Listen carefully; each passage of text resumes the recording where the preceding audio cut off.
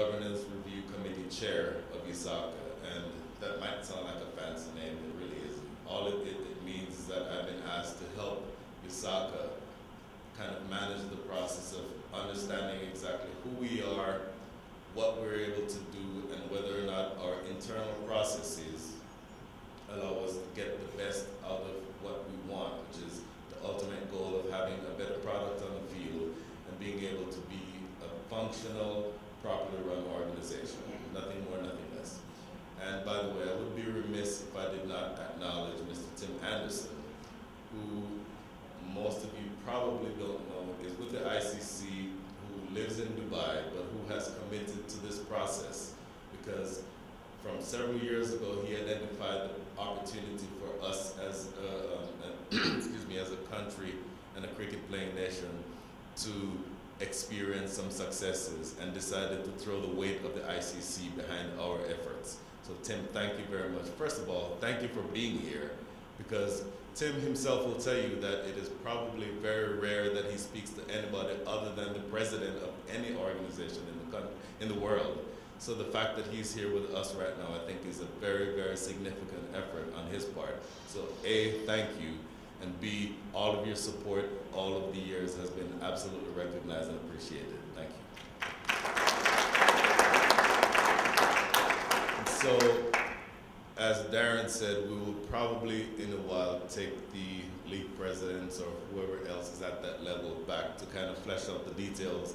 I would suspect that probably most of the people in the world don't want to know the quick and dirty behind all those issues that we'll be talking about. But all I'd like for you all to take from our conversation tonight is the fact that we're doing everything that we can do to make sure that cricket remains and becomes a sport for every single American who wants to participate in it. That means white Americans, it means Indian Americans, Pakistani Americans, black Americans, anybody. It does not matter what you look like. If you look at, if you live in this country, you deserve the opportunity to partake in the second most popular sport in the world, and that is my aim. So thank you very much for your attention. Thank you, Mir, for your tremendous generosity. And thank you for all of you for welcoming us the way that you have. And I look forward to talking to you all soon. Thanks.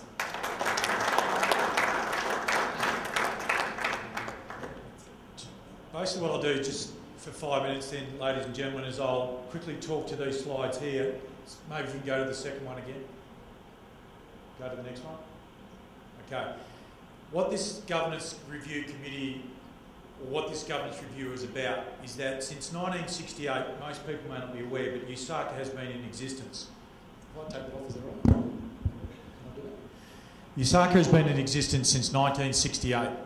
And since 1968, you have, through volunteerism and great dedication and great uh, passion, you now have today the official figures of 54 leagues and 32,000 people playing the game. Since I've been here, we've done some more research. Those figures are wrong. We actually think the number of leagues in the US is closer to 78. And we think the number of people playing could be as high as 60,000. Now, that has all been done on the back of volunteers, passion, and enthusiasm. Now, some people here tonight run businesses, and you'll know what I'm about to talk about. Sooner or later, we're going to reach a tipping point because people like Mir, A, don't grow on trees, and B, they get tired. Life happens, things happen. You lose your job, someone in your family gets sick, you get a chance to go overseas. Those things happen. The fear is, ladies and gentlemen, that with, with Mir, when he goes, so does the league, so does the club. And you might be lucky here in Bolingbrook because you might have a structure that's going to be here in 100 years' time. Unfortunately, if that's the case, Mayor, you're the exception. Because I can tell you without a doubt that there are leagues, clubs, and associations throughout America that when the key person goes, they will go. So, what does that tell you? It tells you it's time for the regions to get a hand from the national body. And after all, that's what we're here for. The national body is not here to dictate terms to you. You clearly know what you're doing. You're clearly running a wonderful program. The question is, how can we put our shoulder to the wheel and help you?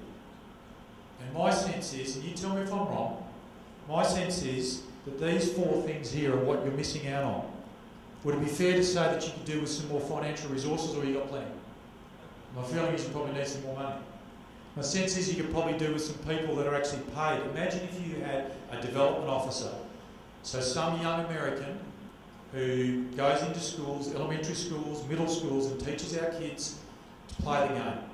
Not give them a taste of the game, play the game. Six week program, eight week program, that then has that young boy or that young girl playing on the weekend. Okay? What about the standard of playing facilities? We've been to some states where nets don't exist. You know the nets where we all learn how to play cricket? Don't have them. Play on rolled mud and matting when they can get out there. Then you go to Houston where, or from Texas where um, Brian's from, and you have fantastic facilities, quite the opposite. They have fields everywhere and they have, so their, their issues are different. You go to San Diego, they had eight teams two years ago, they've now got 14.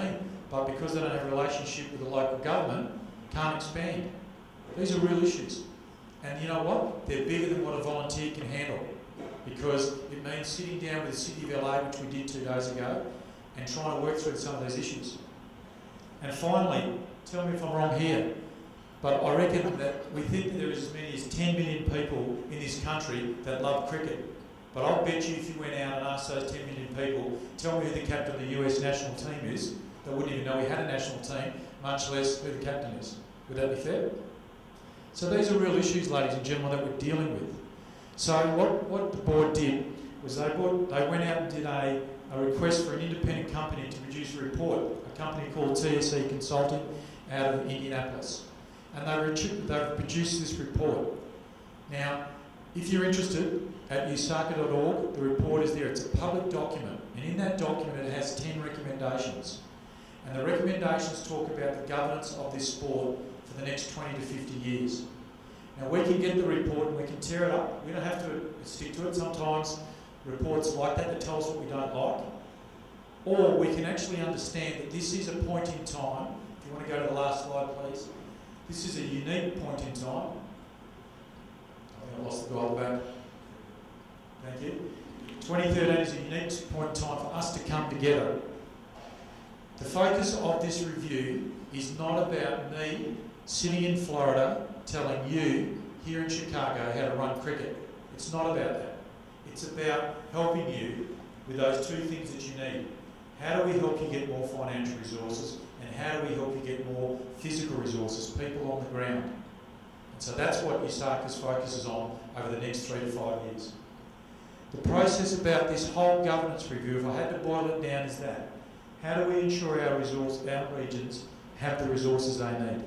So the first thing we need to do in the Central East region is we need to reform you as quickly as we can.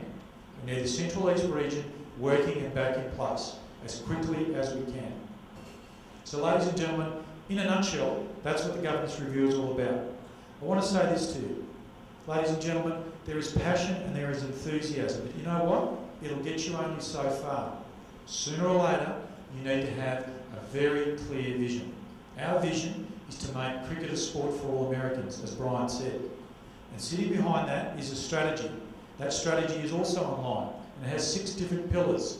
Those pillars are pretty basic. Get more kids playing the game, have a ton to play pathway so young Barbara from here knows how to get to the national team.